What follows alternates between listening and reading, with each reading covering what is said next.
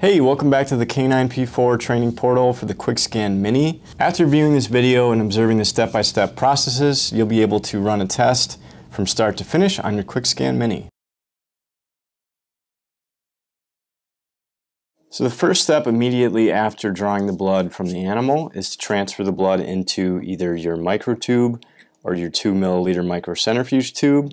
From here on, we're going to allow 10 minutes for the clotting time you can use your timers provided. Just change the timing to 10 minutes and hit start and allow it that 10 minutes of clot time. We're just going to allow it to sit in the tube. Don't allow it to clot within the blood needle itself as that can lead to hemolysis. So step one, allow the blood to clot, give it 10 minutes. So the next step after the 10 minute clot time is just to transfer your tubes into your centrifuge, making sure that your centrifuge is balanced and restarting the timer to allow it to spin for another 10 minutes. The battery powered centrifuge shown here is not available in the regular bundle, but is included in the travel bundle. It's a really great option for taking your testing on the go. As you can see, it is running off of battery power here. It operates either off of battery or from power from the wall, and it's our personal favorite here at K9P4.com. It actually has a built-in timer and slightly higher spin speed, allowing it to separate in only six minutes so from the time you close the lid, it will open back up after six and you'll be ready to test. For most other standard centrifuges, including microcentrifuges, please allow 10 minutes of spin time, typically set at 3,000 to 3,500 RPM. Get more information in the blood processing video or blood processing and handling document available on the training portal. Now we remove our blood tube and we're going to check our serum. So the serum has risen to the top. We want to inspect to make sure that it's not lipemic or cloudy or hemolyzed and very red. This is a perfect straw-colored specimen. It's clear, transparent, and is not gel-like in consistency. This is perfect for our test. Be aware that this step in processing the blood is highly important to the accuracy of your testing.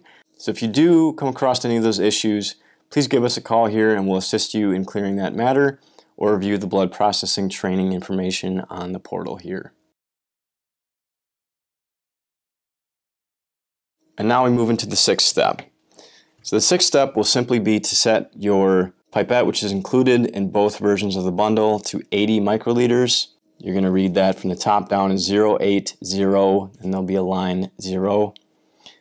Then after that, we need to place a new clean pipette tip on from a vertical approach, not applying too much pressure, but enough to have the tip be on snug.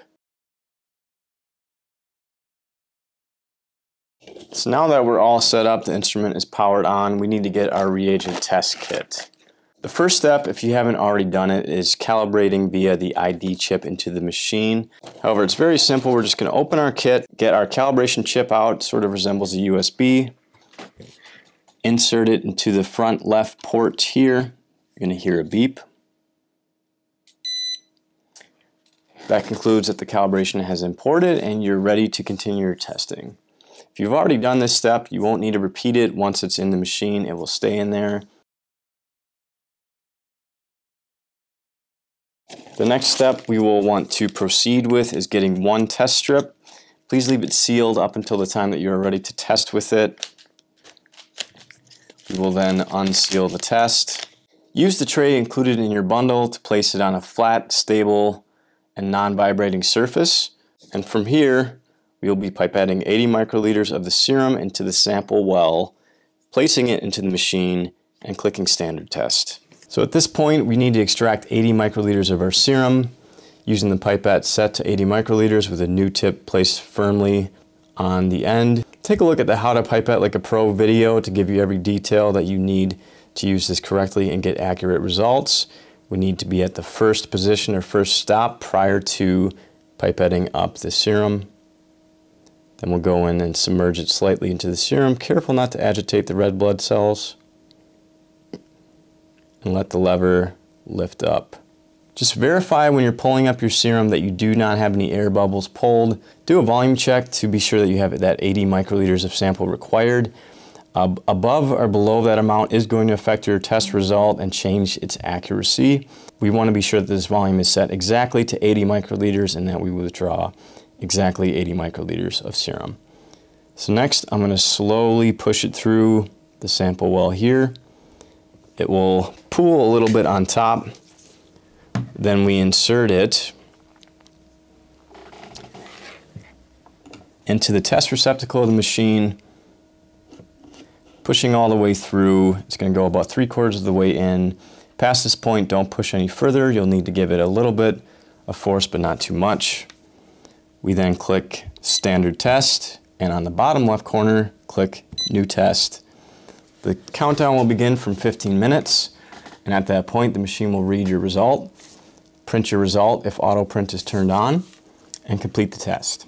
So once you begin or click your new test button, be sure not to hit the back or new test again or any of the menu icons. Just let it go through its countdown. Otherwise you risk canceling the test and having to start over. Alright, so now that the test result has completed after the 15 minutes, you'll see the result both on screen and on the printout. You can rip off and save that printout for your records. It'll also be saved in the history of the machine. Here we have a value of 0.31 nanograms per milliliter. The next thing we're going to want to do is compare that to our timing chart for the QuickScan Mini only. See where that number lines it up and interpret from there.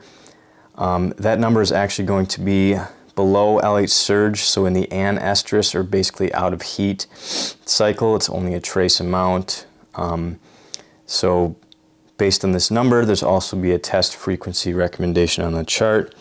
And then on the bottom of the insert sheet, we also have the, just a display of the date and time that the test was taken, the random sample ID number generated, and the test item PROG, which is stands for the progesterone test. So that was easy, wasn't it? Thanks for watching. Please stick around for our next video on how to interpret your test results.